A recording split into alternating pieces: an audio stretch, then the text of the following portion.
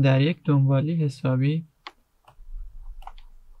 اس 17 منهای اس 6 برابر با 737 می باشد. مجموع 23 جمله اول این دنبال کدام است؟ گزینه اول 1534 گزینه دوم 1543 گزینه سوم 1541 و گزینه چهارم 1542 می باشد. برای حل این سال باید ببینیم که سال به همون چی داده و از همون چی می‌خواد.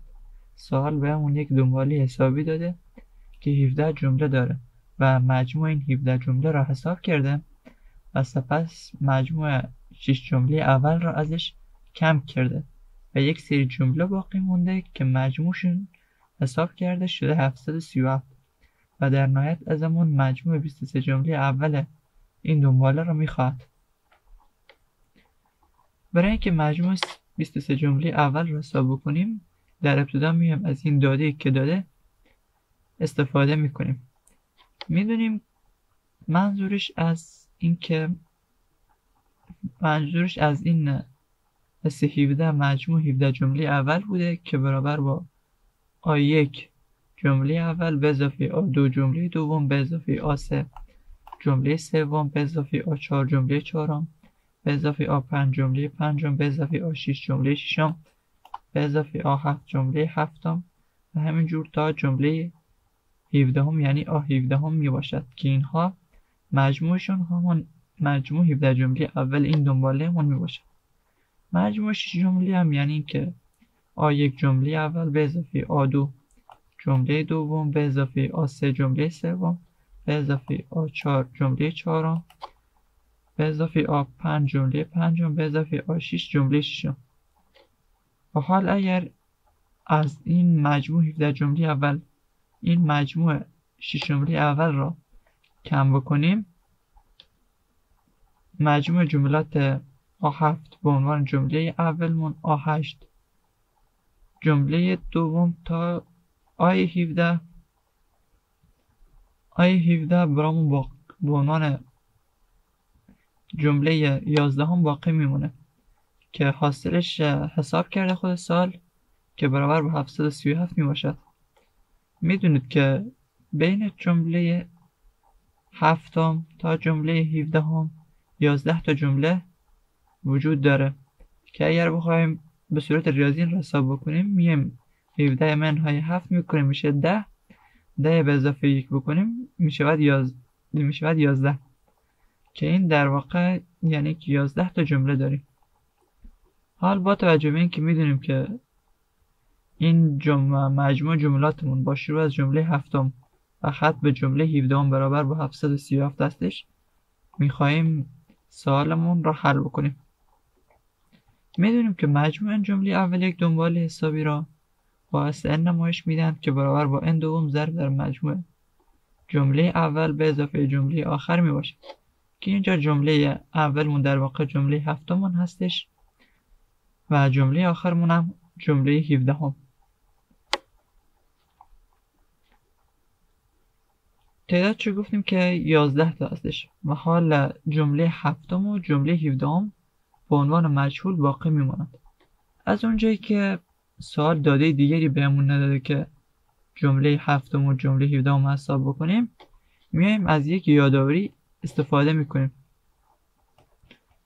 اون یادآوری هم اینه که اگر تو یک دنباله حسابی اندیس M ام جمع بشه یا کم بشه با اندیس N ام و حاصلش برابر باشه با اندیس P ام که جمع میشه یا کم میشه با اندیس Q ام در این صورت می‌تونیم نتیجه بگیریم که جمله که مربوط به اندیس M ام هستش یعنی A M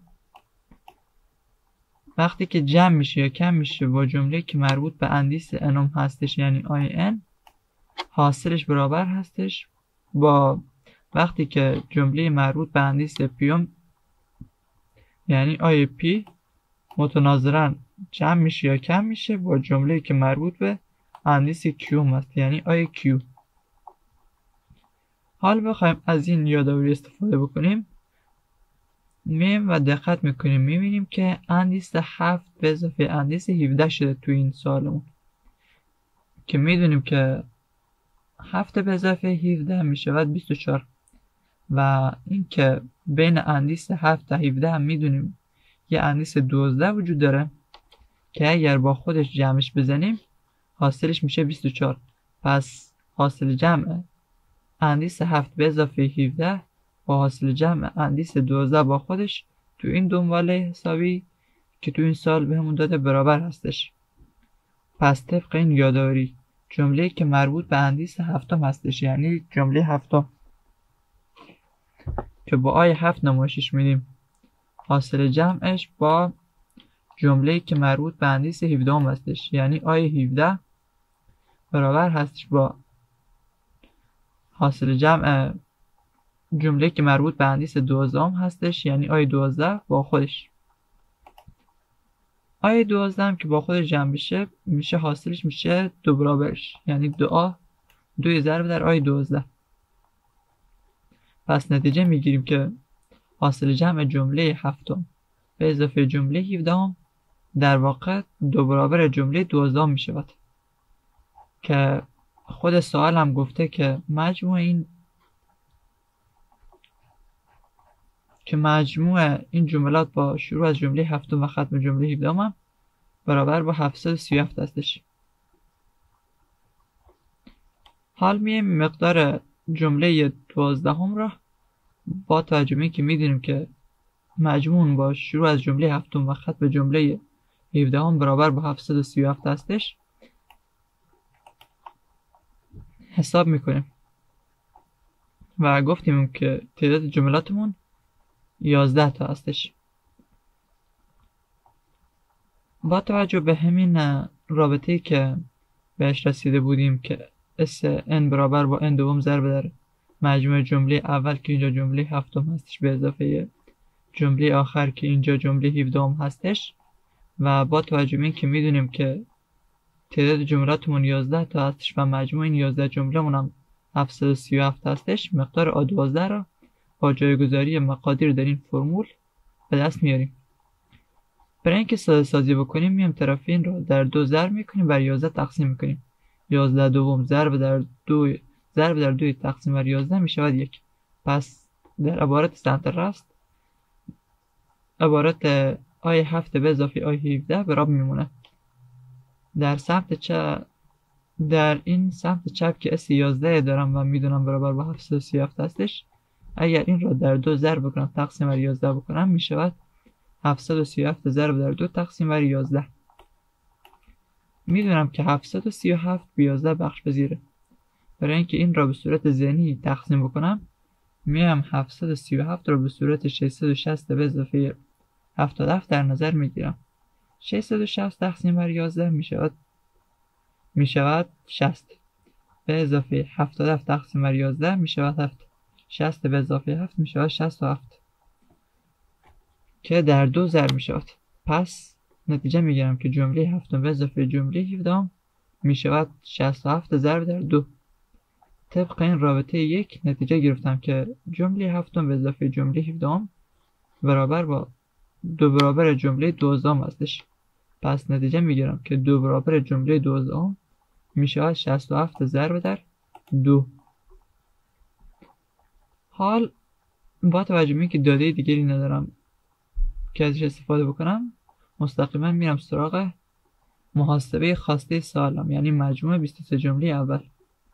مجددا می‌دونیم که مجموع جمله اول یک دنباله حسابی را با اس نمایش میدند که برابر با این دوم ضرب در مجموع جمله اول و جمله آخر می باشد که اگر توی این رابطه به جای n23 قرار بدهیم مجموع 23 جمله اول به دست میاد که برابر با 23 دوم ضرب در مجموع جمله اول با جمله 23 می باشد.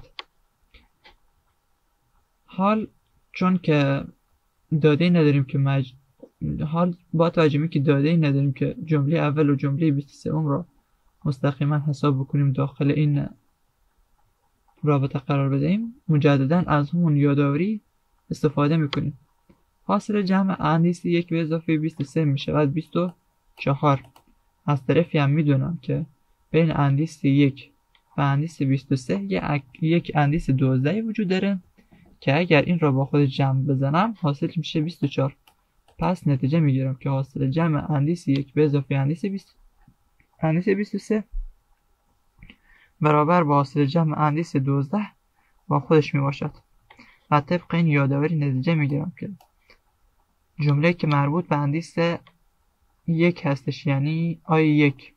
حاصل جمعش با جمله که مربوط به اندیس 23 هستش. یعنی آی 23 برابر با حاصل برابر با حاصل جمع جمله که مربوط به اندیس 12 یعنی آی 12 به اضافه خودش می باشد گفتیم که این آی 12 که با خودش جمع شده در واقع حاصلش میشه دو برابر آی 12 پس نتیجه می‌گیریم که آی یک به اضافه آی 23 برابر با دو برابر جمله 12 هم حاصل جمعشون می باشد که گفتیم که این طبق این عبارت بالا که دو برابر جمله 12 هم می شود 67 ضرب در دو. پس اینجا جایگذاری می‌کنیم.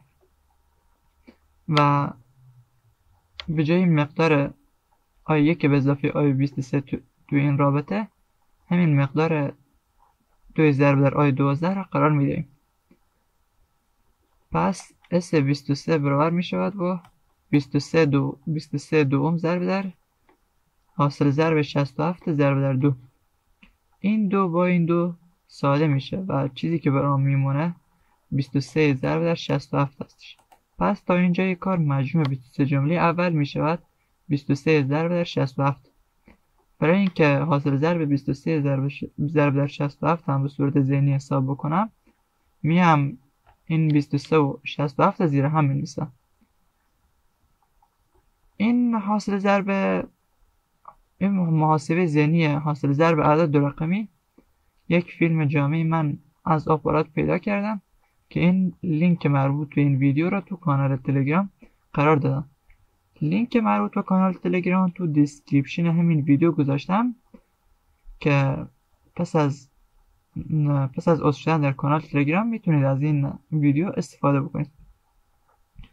طبق آموزشی که من از این ویدیو دیده بودم گفته بود که اگر خواستید عدد دو رقمی را در هم ضرب بکنید در ابتدا به رقم اولشون دقت بکنید و این ارقام اولشون در هم ضرب بکنید. میام و این هفت در سه ضرب می‌کنم. هفت ضرب در سه میشه 21 از این 21 یک را به عنوان حاصل می و این دو را به عنوان رقم نقلی به عنوان رقم نقلی نگه میدارم. میام سراغ مرحله دوم. تو مرحله دوم این اعداد پروانوار دارم ضرب می‌کنم و حاصلشون با رقم نقلی که از مرحله اول به دست آوردم جمع می‌زنم. هفت ضرب در دو میشه چهارده. چهارده به اضافه سه ضرب در شیش هم میشه هیچده چهارده به اضافه هیچده میشه سی و دو. سی و دو با رقم نقلی از مرحله قبل جمع می‌زنم سی و دو به اضافه دو میشه سی و چهار. از این سی و چهار چهار به عنوان حاصل می‌نویسم و سه به عنوان رقم نقلی نگه میدارم. رقم نقلی از مرحله قبل یعنی دو را خط می‌زنم و نادیده می‌گیرم. به مرحله سوم میریم. دو مرحله سوم رقم ارقام دوم را در هم ضرب می‌کنیم. و حاصل شنا در صورت وجود رقم نقلی با رقم نقلی جمع می‌زنیم. و حاصلش را بدون تغییر به عنوان حاصل می تو مرحله سوم میم این شیشا همطور که گفتیم شیشا در دو ضرب می‌کنیم. میشه دوازده. دوازده با رقم نقلی یعنی سه که از مرحله دوم به دست آوردیم جمع می‌زنیم. دوازده به اضافه دو میشه دوازده به اضافه سه میشه پونزده.